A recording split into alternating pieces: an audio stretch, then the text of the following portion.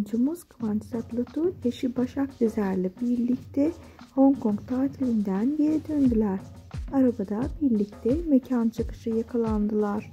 Kameralardan kaçsalar da yeniden yepyeni fotoğraflarını sizlerle paylaşacağız. Bunun için takipte kalmayı unutmayın.